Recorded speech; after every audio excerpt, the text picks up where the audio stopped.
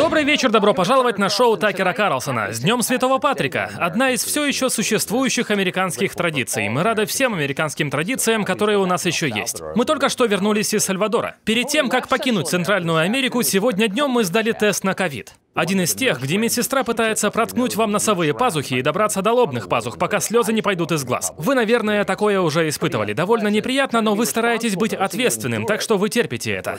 И, конечно же, у нас не было выбора. Авиакомпания требует этого. Мы не можем вернуться домой, пока не сделаем тест. И все это потому, что, как они говорят нам, наши власти преданы идее охранять нас от этого смертельного вируса. Таков порядок. Если прилетаешь из Сальвадора в США легально, ты делаешь тест. Но что, если ты проникаешь нелегально? Что, если ты приехал на крыше товарняка из Сальвадора через Мексику и спрыгнул на границе? Что ж, такое бывает. Сегодня утром мы взяли интервью у члена банды МС-13, осужденного убийцы, который сказал, что именно так он и сделал. Так что вопрос в том, что будут ли такие люди, которые нарушают наши законы, чтобы попасть сюда, соблюдать обязательное тестирование на ковид, как только будут задержаны американскими властями? И ответ, конечно, нет, не будут. С этой администрацией они не должны и не будут. Нелегалы освобождены от мер по здравоохранению, которые силой навязаны всем остальным правительством США. Нелегалы приходят и уходят, когда захотят. Никому и дела нет, если они заразят смертельным вирусом остальное американское население.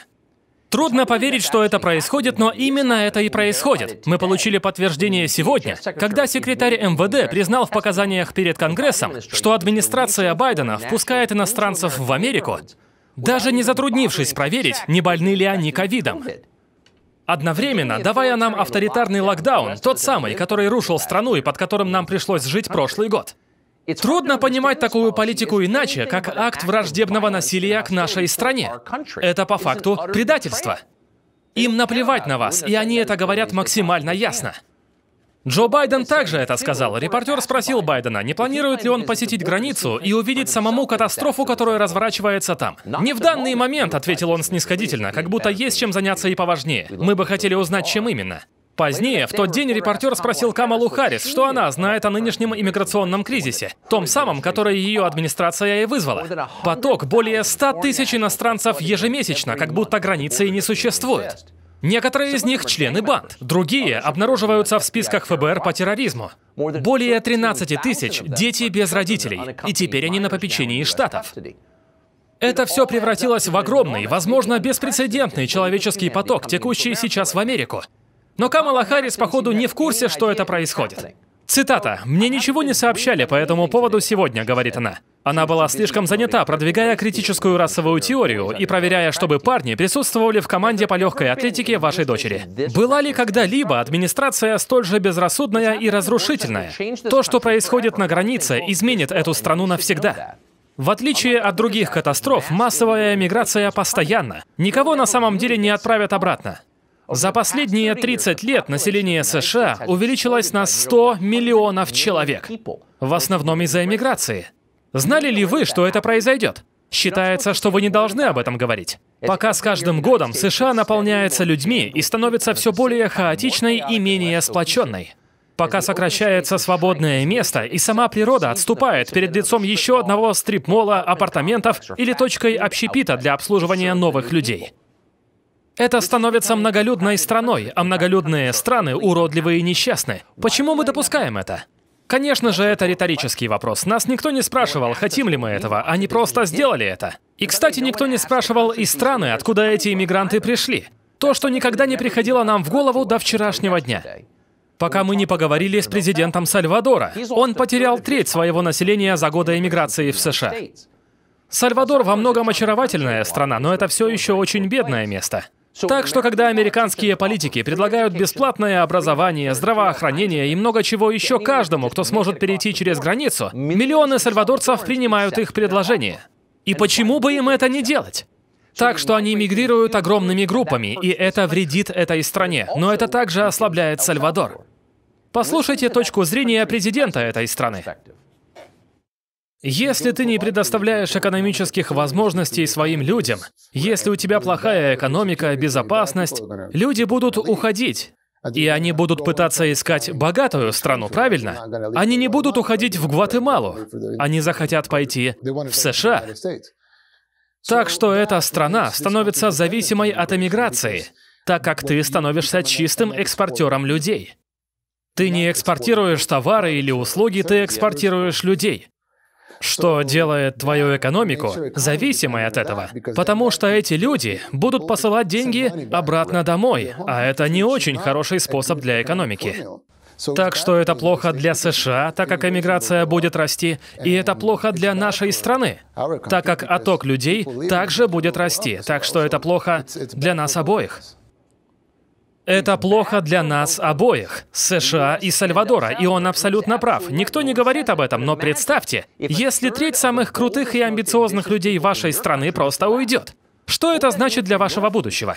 Лопающиеся от денег НПО и самодовольные торговцы сочувствием, которые продвигают открытые границы, не задумываются об этом, потому что им наплевать. Они даже не знают, кто президент Сальвадора. Сколько мамочек из спортзала с плакатами «Нет нелегальных людей» смогут назвать его? Мы догадываемся, что около ни одной.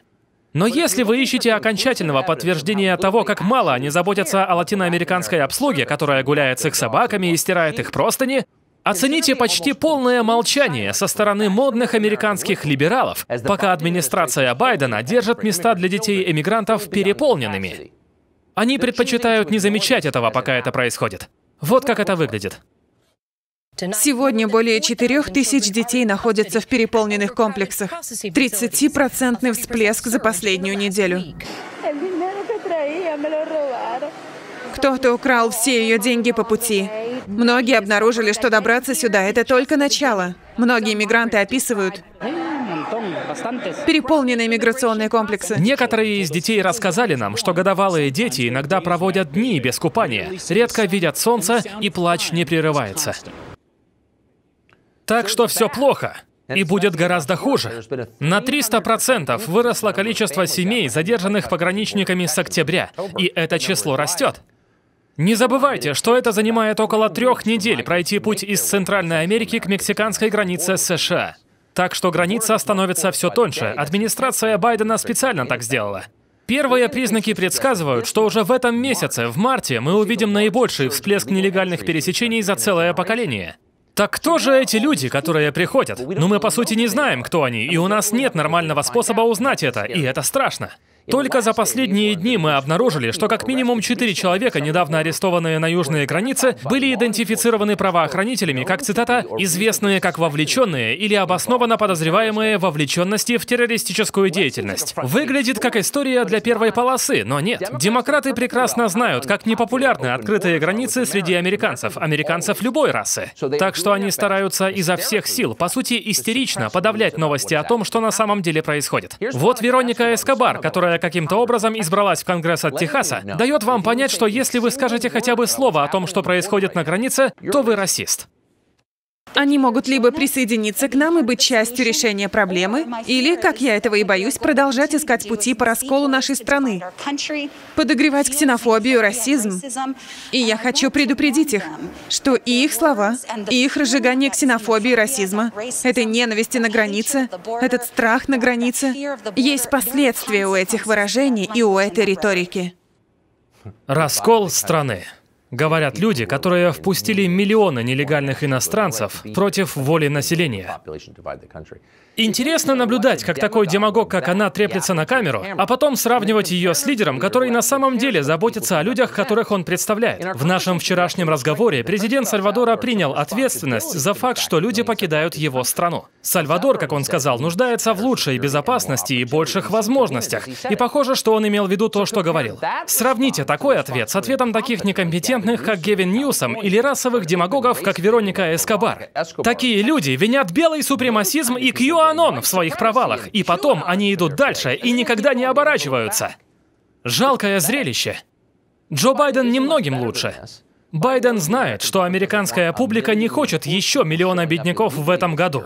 Страна, очевидно, не справится с этим, особенно сейчас. Еще раз, открытые границы не популярны ни у кого. Они не популярны и среди испаноговорящих, кстати. Все эти виноватые белые либералы предполагают, что испаноговорящие любят нелегалов. Это не так. Они американцы, так что с чего бы? Байден, кстати, пытается во всем обвинить Трампа, конечно же. По-видимому, обещание построить стену было приманкой для центральных американцев. Довольно забавно. Но в то же время, и уже без обидников, Байден призывает нелегалов приходить еще больше. Вот Байден на «Доброе утро, Америка» дает миру понять, что главный приоритет Америки — быть более удобной для иностранцев. Нужно ли вам сказать очень ясно «не приходите»? Да, я могу сказать очень ясно «не приходите». И что мы в процессе создания, который не займет много времени, возможности предоставить убежище по месту. Так что не покидайте свои деревню, город или общину. Мы хотим убедиться, что у нас есть комплексы в этих городах и деревнях, управляемые DHS с доступом HHS, службой здравоохранения и гуманитарки, кстати. Вы сможете получить убежище прямо на месте. А, смекнули? Пока не приходите, мы еще не готовы. И, кстати, не утруждайте себя. Мы сами придем к вам. Мы потратим, сколько потребуется, чтобы сделать процесс легче для вас. Чтобы больше людей из вашей страны могли перебраться в нашу полностью за наш счет. Это наше обещание миру, и мы достаточно себя ненавидим, чтобы иметь именно это в виду. Была ли когда-либо страна, обещавшая такое миру? Выжила ли хоть одна страна, если пообещала? Джо Байден не думает об этом, ему все равно, им всем все равно. Все, что они знают, что демократическая партия больше никогда не проиграет, как только они это сделают. И это все, что для них имеет значение.